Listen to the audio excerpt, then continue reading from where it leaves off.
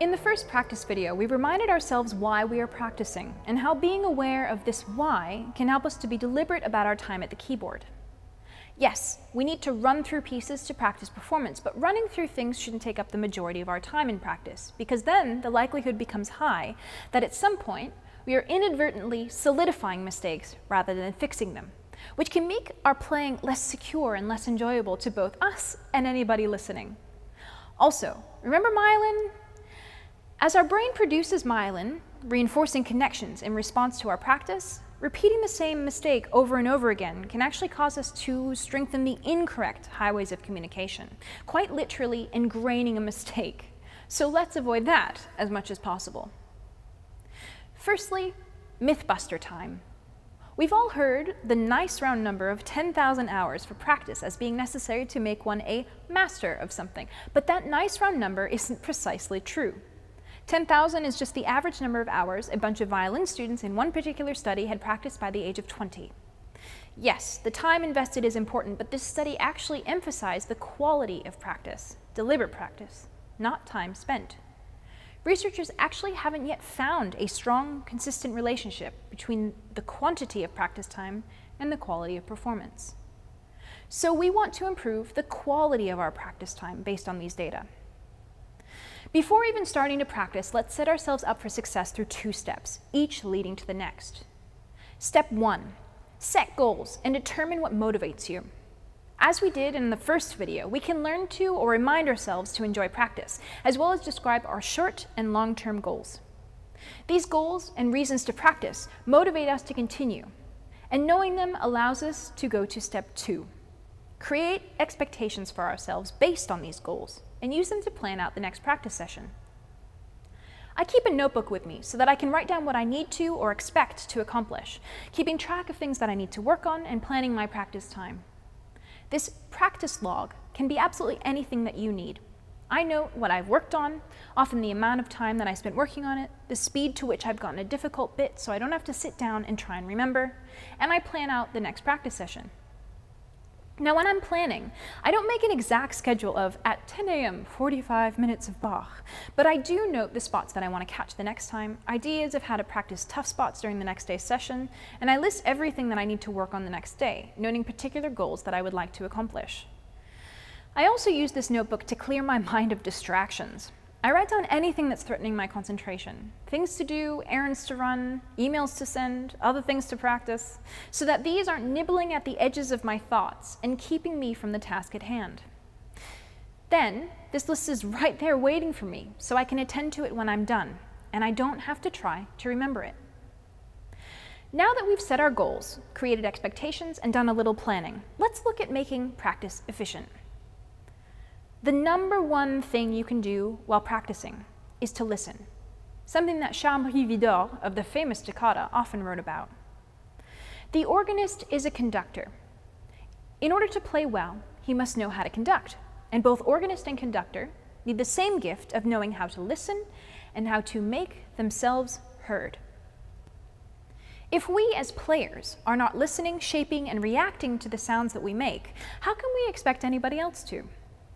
We have to begin strengthening this muscle of listening to our playing in real time during practice, using it to discover potential problems and sort them out, all for the greatest goal of making music.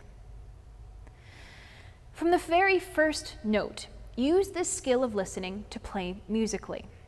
Notice the piece's construction, listen to and note surprising harmonic progressions, make certain rests are receiving their due, since the music is both the notes and the spaces between them and avoid playing robotically, although an unsteady tempo is not an excuse for musicality.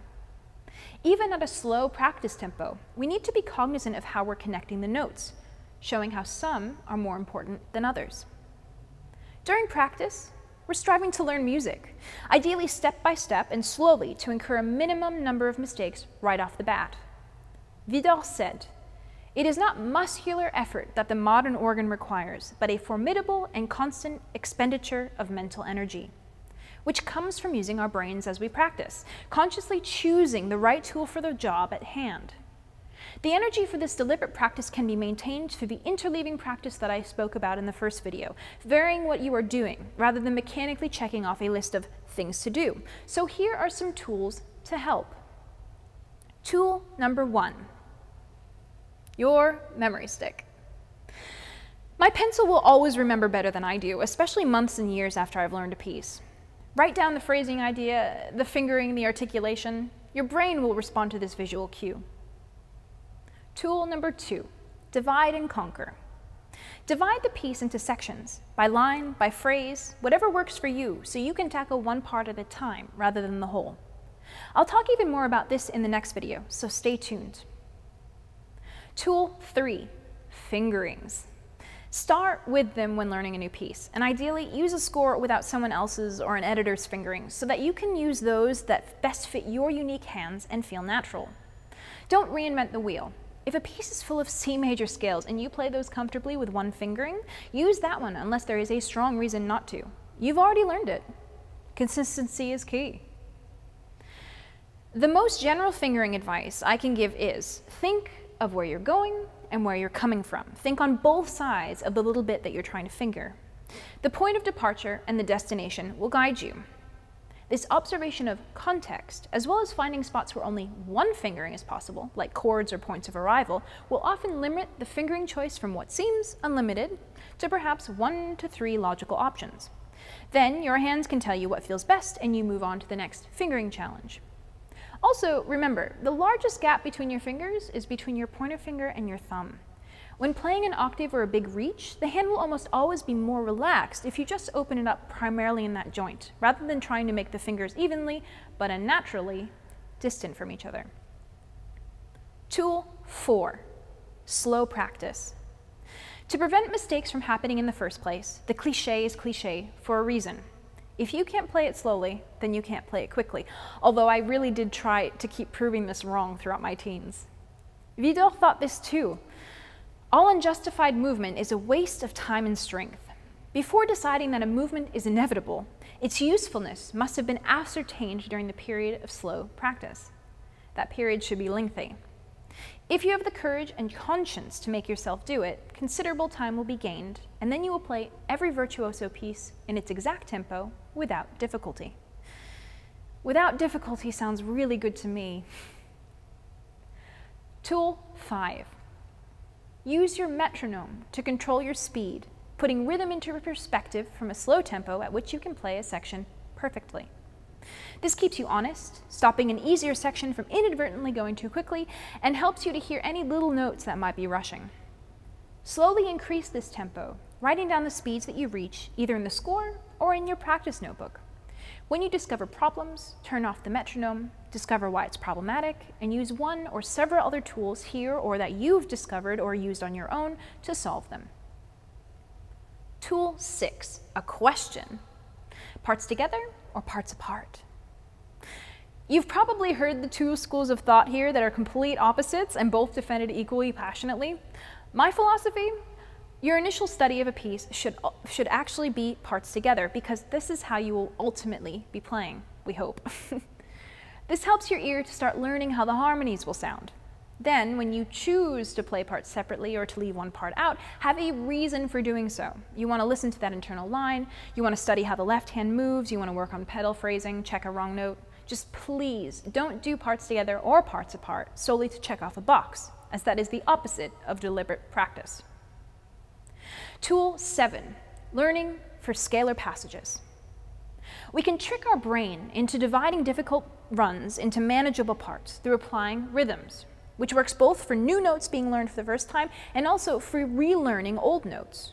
I swear by these methods. They have helped me so many times when I've needed to play a piece as soon as possible. So, first, and as quickly as possible, change of eighth notes or sixteenth notes in an even numbered time signature, tuples. We want our fingers to be independent and strong, and dotted rhythms can help to encourage that. So this is dotted rhythms all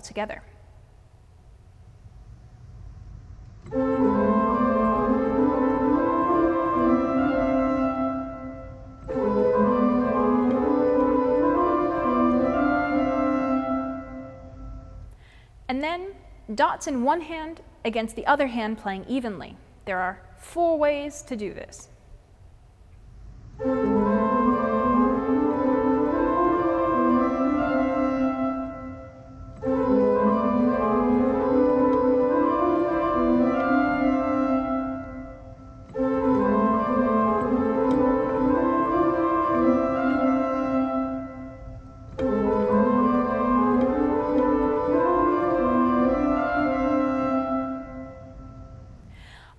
Students who have finger independence, but who have trouble landing on big beats concisely. So here are two methods to encourage the hands to work together, and also to help you notice when some notes are rushing.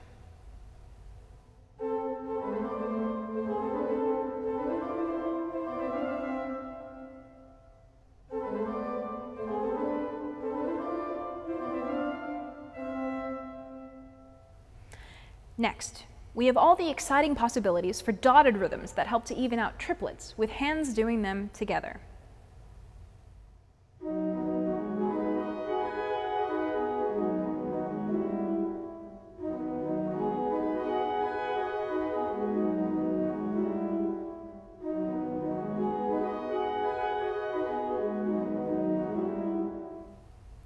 and one hand remaining even while the other dots. We have six options here.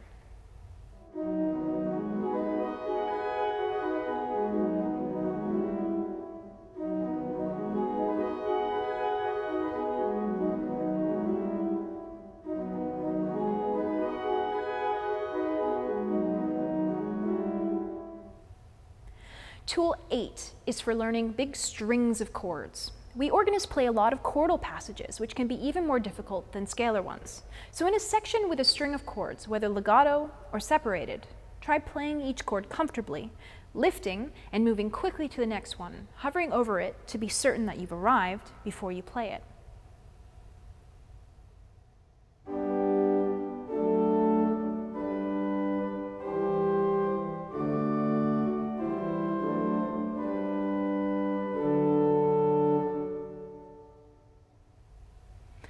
Follow each finger.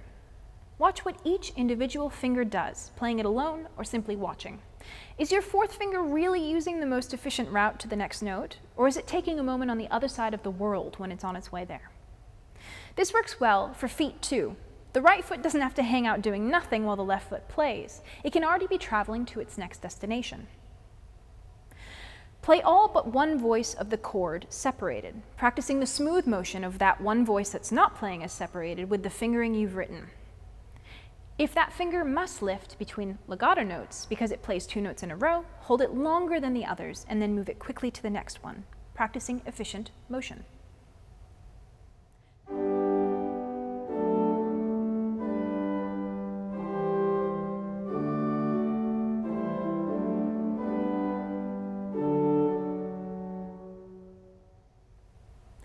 Tool 9, for lots of leaps. Isolate one leap at a time and practice just that one. Then add a note before, a note afterwards. Close your eyes and visualize the keyboard and that leap. Practice it that way until you trust your mind's eye. Even use the rhythms that we've just talked about to practice a chain of quick leaps so that it can happen through your muscle memory and you trust it to do so. Tool 10 is a process for identifying and using all of these tools, as well as others that you already know about or might discover, to fix mistakes, which we do occasionally need to do. Although we tend to think practice makes perfect, it can't. Even Yo-Yo Ma says, of course you cannot achieve perfection, and you kind of get paralyzed, so you have to find an equilibrium between the possible, what's realistic and what is ideal. We are only human, so let's first give, give ourselves permission to make mistakes, deciding to never judge ourselves for them. If one crops up, especially in practice, it's an opportunity, not a flaw. Using the skill of listening to ourselves while we practice, we can hear, find, and fix technical and musical mistakes as we increase tempo or notice things learned incorrectly. When you're practicing, don't play through the mistakes, which you'll notice because you're listening, unless you're practicing performing. Instead, Try out the following method for resolving them, following the acronym NIENTE, that musical direction to fade away to nothing, like we wish our mistakes would do. Note the mistake, starting the process of becoming a detective to determine what's wrong. Identify the kind of mistake and its cause. This is essential. Is it a wrong note, incorrect rhythm, musical mistake? Was the cause at the exact spot where things went wrong? Or was the actual cause, rather than the symptom, somewhat earlier? A note, a beat, or even a measure before the pileup? Is the fingering problematic? Was the hand position causing a stumble? Was something mislearned? Was the section just unfamiliar or played too quickly? Explore the section at a slower tempo, giving yourself time to be curious about what's happening. Notice with your eyes. Memorize that little bit, one beat, two, bit, two beats, even a measure, watching your hands to see what's going on. Are you playing efficiently without jerkiness? Our hands and arms should already be preparing the next note as and after playing one. The music doesn't stop after one note, so neither should your body. Think. Take a moment not playing to decide on a strategy going forward. We have innumerable options for practicing. Which one will you use for this spot? What will it help you to accomplish? Execute your strategy. Evaluate how it goes and keep practicing until things are stable. Change strategies if it doesn't really work, repeating this detective work as needed until you're confident and enjoying playing without this particular mistake. Tool 11. Finally, practice performing, especially when you have a performance coming up. Play for your friends, family, imaginary people in the pews, whoever you like, and enjoy being free to play through your repertoire. If you can, record this and listen back when your ears aren't multitasking to see what else you might hear. So, your assignment. Try out each of these 11 tools on spots that actually need a little help in your practice. Don't try all of them in one day though, just one or two each day on sections of pieces where they're useful. When you start your next new piece, try out all parts together at a snail's pace, a tempo where you can comfortably read the next note to come and move smoothly without any kind of jerkiness, stumbling, or changing the beat. Yes, this can be quarter note equals two beats per minute, but have fun noticing things as you plod along. As ever, happy practicing.